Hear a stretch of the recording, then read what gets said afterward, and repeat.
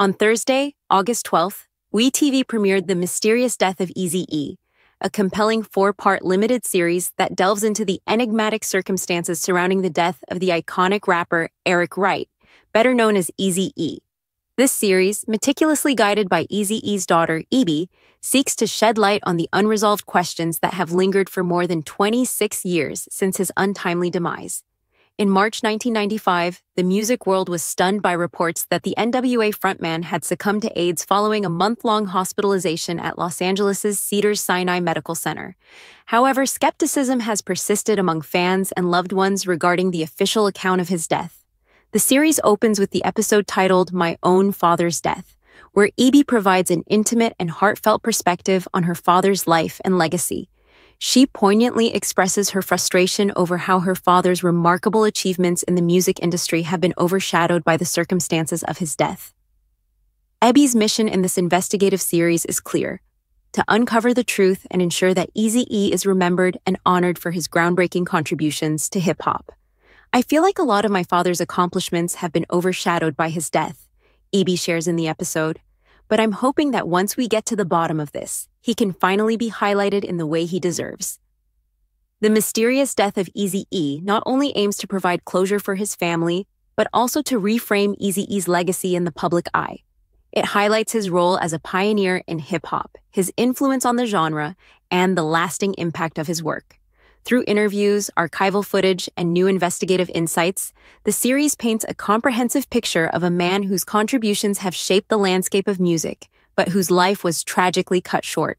In revisiting and re-examining the circumstances surrounding Eazy-E's death, this series aspires to spark a broader conversation about the challenges and prejudices faced by individuals diagnosed with AIDS in the 1990s and the cultural and medical context of that era.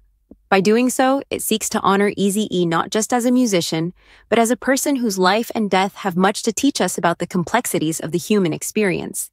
Ebie emphasizes that while the series delves into various conspiracy theories and unexplained details, it is not necessarily poised to unveil the definitive truth about her father's death. This series is a good introduction to my story, Ebie tells Billboard. She expresses a desire for the series to more fully capture her personal journey and the emotional stakes involved. Ebie points out the generational differences within her family, noting that some relatives are hesitant to challenge the fishy inconsistencies surrounding Easy E's death. Despite this hesitation, Abby remains steadfast in her determination to uncover the truth, vowing to continue her pursuit until all questions are answered. The series not only serves as an investigation into the mysteries of Eazy-E's death, but also as a tribute to his enduring legacy. Abby's mission is deeply personal, rooted in a desire to honor her father in a way that aligns with his values and spirit. She believes that Easy E would support her efforts to assert independence and to fight for what she believes in, just as he did throughout his life. I think that he would tell me to own everything of my own. She reflects, be independent just like he was, and stand up for what I believe in. The inclusion of various perspectives, from medical personnel to those who knew Easy E personally, enriches the narrative and underscores the complexity of the situation. The publicist from Cedar Sinai offers an insider's view of the hospital environment and the events leading up to Eazy-E's death, while the behavioral analyst provides a scientific approach to understanding the inconsistencies and potential motivations behind the various theories. BG Knocc Out's reflections add a personal touch, highlighting the impact Easy E had on those he mentored and worked with. Ultimately, the mysterious death of Easy E stands as a poignant exploration of loss, legacy, and the pursuit of truth. It highlights the challenges faced by Easy E during his life, the impact of his death, and the enduring questions that remain. Through Ebie's eyes, viewers are invited to join a deeply personal and emotionally charged journey, one that seeks not only to solve a mystery, but to celebrate a life that has left an indelible mark on the world of music and beyond. Actually, I didn't make that decision. It was never specifically intended to be this four part limited series, to be honest. In this four part series, you don't get everything. You don't get the full scope of the story, or what I've been through, or how my father's death saw me delving into me. all of the viral conspiracy theories that I feel have overshadowed the truth. How did the production team decide on what would be in each part? That wasn't decided beforehand. It was more of a real life investigation. Obviously, I have a real story, and I knew a lot of these things about my father. We documented a lot of what I went through and experienced, as well as my mom's story and a lot of what she saw, and the court dealings that took place right after my father passed away. So there were a lot of things in real life where we were just going through the motions and we really filmed and captured everything. That was then edited down into four parts, deciding on the content of each part. The production process was more of an evolving real life investigation rather than a pre planned scripted series. From the beginning, I had a real story to tell, filled with personal insights and previously known facts about my father. Throughout the production, we documented my journey extensively. This included my own experiences, my mother's story, and the legal battles that ensued following my father's passing. Every step of the process was recorded, capturing the raw and unfiltered reality of what we went through.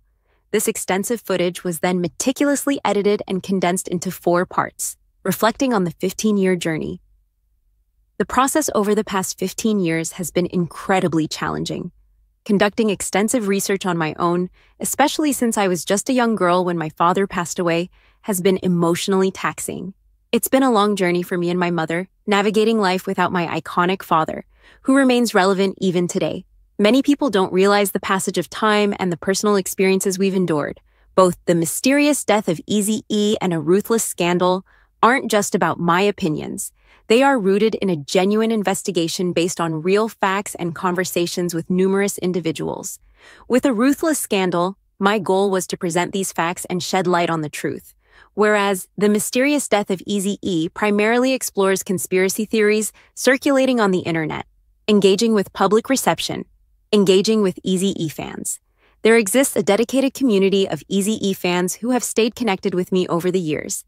They have eagerly anticipated the release of a comprehensive story about my father. These fans have taken it upon themselves to investigate and share their findings about his death. This kind of dedication comes from their deep love and admiration for him. On the other hand, there are many people who accept the official narrative of his death at face value, believing that he simply succumbed to the illness as reported. For these individuals, this series is crucial in conveying the message no, not at all. We definitely believe that something more happened to him. Bridging Generations. Straight Outta Compton did an excellent job of reviving interest in NWA and bridging the gap between different generations. It brought back the legacy of NWA, connecting my father's generation with mine and introducing his story to younger audiences who might not have been familiar with the full history. However, it didn't explore the intricacies of my father's life and the suspicious circumstances surrounding his death. The journey of Easy E's fans there is a devoted community of Easy E fans who have followed my journey over the years, eagerly awaiting a thorough account of his life and death. These superfans have gone to great lengths to conduct their own research, uncovering details and sharing their findings with me. Their dedication stems from their deep love and respect for my father. They refuse to accept the official narrative of his death and are driven by a desire to uncover the truth. However, there is also a broader audience that has accepted the mainstream account believing that my father's death was straightforward and uncontroversial. Revealing the truth. For those who believe that my father's death was a simple case of succumbing to illness, this series is an eye opener. It challenges the accepted narrative and presents evidence that suggests there is more to the story. The series aims to shed light on the inconsistencies and suspicions surrounding his death, urging viewers to reconsider their understanding of what happened. It's a crucial step in ensuring that the world knows that we, as his family, believe there were deeper, more sinister forces at play. The impact on our lives. This journey has profoundly affected us, his family. The lingering questions and suspicions about his death have cast a long shadow over our lives. By exploring these issues in the series, we hope to bring some closure and honor my father's legacy in a way that fully acknowledges the complexities of his life and death.